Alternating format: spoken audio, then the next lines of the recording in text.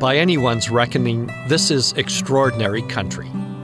Snowy peaks and lake filled terrain, an important summer and winter range for wildlife.